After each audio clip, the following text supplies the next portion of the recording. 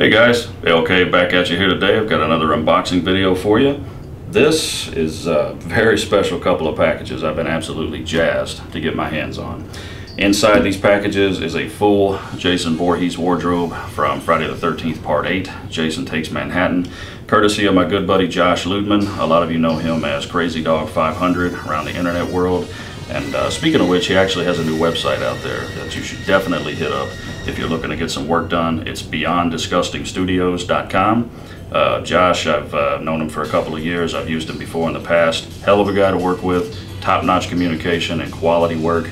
Um, you guys have actually seen some of this stuff on display in uh, videos of mine in the past, as well as tons of photos and, and all that good stuff. So, uh, also special shout out goes to my good buddy Steve Bellamy over at thedevilslatex.com. He's the guy who made the hood that you're getting ready to see. Uh, more on that in a moment. Josh did some work with that as well.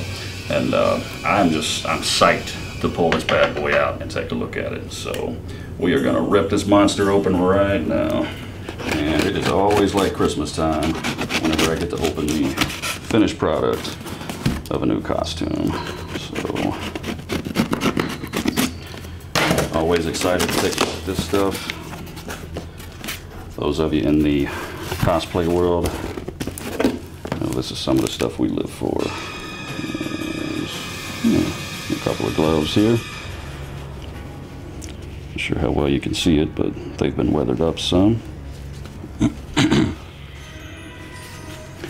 tell Jason has uh, definitely gotten his hands dirty with these.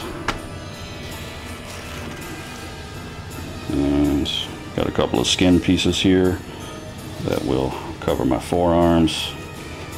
And I believe these are temporary pieces until Josh is actually able to construct some uh, silicone sleeves.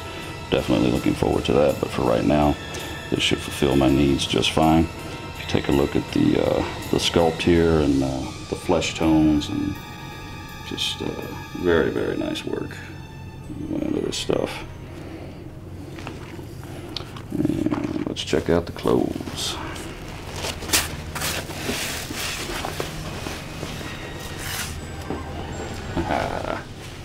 Kick ass. Hope you can get a nice wide shot of that there. This is the uh, work shirt that he wears with uh, some of the skin pieces that are visible through the damage on the shirt. And they have been fitted in expertly by Mr. Ludemann. Awesome work as usual. And he even applied the, uh, I'm assuming he used some type of silicone base. I'm really not sure. I didn't ask him. Um, but I'm sure he'd be happy to confirm it for you if you are curious. But this gives the clothes the kind of slimy, shiny look that Jason has throughout most of the film, um, where he basically came up out of the lake after being down there for who knows how long. Uh, got a lot of slime and, and uh, sewage residue on him, and he's done a really good job in emulating that. So, hell of a job on the shirt. I'm Gonna set that aside for right now. And let's get a look at the pants here. Hopefully they're not too small for my big thick ass. but these are uh, weathered up much the same way. Kind of got that, uh, that shiny slime look. And the right knee is also cut open where the flesh is exposed in the movie as well. And that is also well done. I'm gonna go ahead and set this one aside. And funny tidbit about this box here. I've actually had this in my possession for a couple of weeks now, and I uh, promised myself that I wouldn't open it because uh, I wanted the full effect. I didn't want to take this stuff out and, and start playing with it before the actual uh, rest of the costume came. So it hasn't been easy. I basically had to put this in a closet and just kind of forget about it. So I'm really hyped to check out the Hawk and the hood here. Josh sent me pictures of them and uh, they are studio quality. I mean, very cool stuff. Can't wait to show them to you. Can't wait to see them myself in person.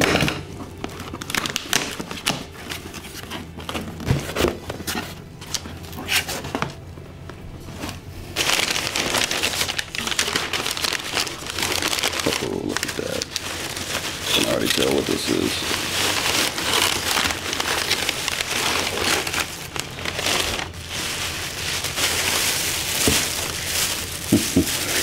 Don't think you're ever going to find anything this badass at Walmart.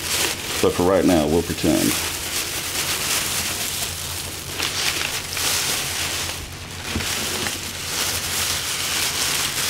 Ooh. Holy shit. Damn, look at that. You picking this up all right? Mm-hmm. Damn, that is badass. He totally nailed it. I mean, the weathering, the uh, the color tones here, the chevrons, everything's perfectly placed. The axe mark is, uh, I mean, pretty damn screen accurate from what I can tell. Just an all-around badass job. And he's even got the eyes fitted with the dark mesh that uh, hides the eyes of the wearer. That was done in the uh, film as well. I think that was one of the only times that Jason wore a hockey mask in the movie where it was really hard to see his eyes any part of the time. But uh, Josh's insignia, and that is just badass. Had to take a second look at that.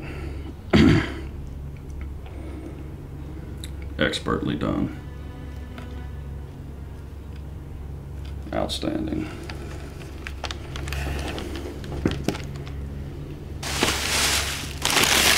And let's take a look at the last piece.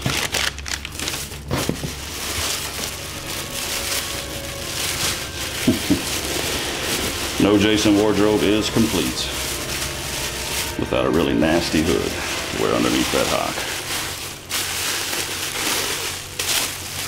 And as I mentioned to you earlier, this hood originally came from Steve Bellamy, the Devil's Latex.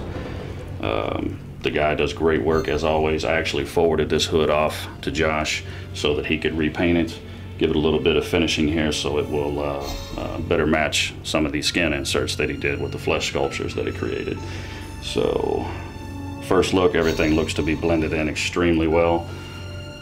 I don't know if you guys remember, but uh, sometime a while back on uh, Instagram and Twitter, I posted a picture where I talked about the uh, getting the first piece of a new project that I was working on.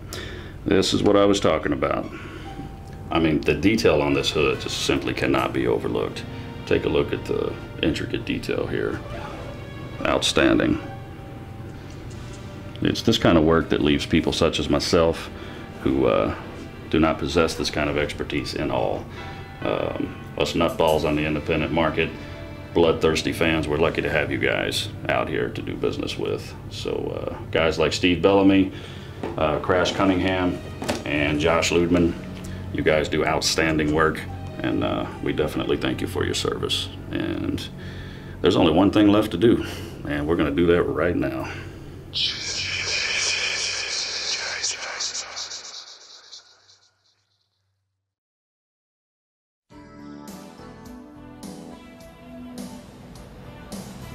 Like this. We live in claustrophobia, a land of steel and concrete, trapped by dark waters. There is no escape, nor do we want it. We've come to thrive on it, and each other. You can't get the adrenaline pumping without the terror, good people. I love this town.